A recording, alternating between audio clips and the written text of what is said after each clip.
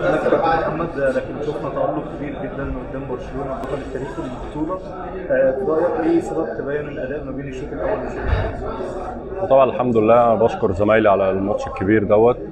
أنا فخور بيهم جدا يعني الصراحة. آه، تبين الأداء بين الشوط الأول والشوط الثاني. إحنا الشوط الأول لعبنا كويس جدا كنا ند بند ليهم.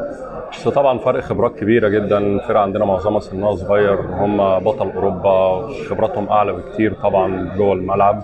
فهو ده اللي فرق الشوط الثاني يعني. بس الحمد لله يعني إحنا بنتعلم برضه وخبراتنا بتزيد بحيث إن إحنا في اللي جاي إن شاء الله نبقى أحسن كمان. من وقت ان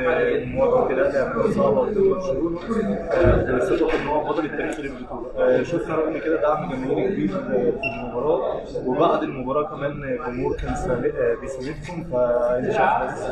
لا هو ده النادي الأهلي يعني. هو ده جمهور النادي الأهلي. دايما بيبقى في ظهر فرقته في الخسارة قبل المكسب. الجمهور دعمنا بشكل كبير جدا.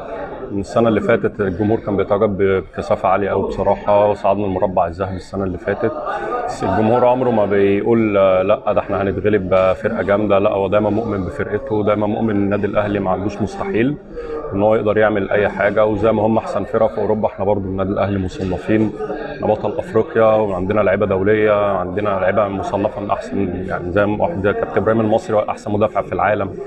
فطبعا إحنا ما فيش مستحيل يعني وبنشكر الجمهور جدا إن هو كان في ظهرنا النهارده ودعمنا شاء الله ما نخذلهمش في اللي جاي وطول ما هم في ظهرنا. حاجة الأهلي ما قدرش يوصل المربع الذهبي لكن عنده منافسه قويه جدا لأن كل الفرق من المركز الخامس للثامن كلهم عرب فطبعا بيكون مباريات قوية.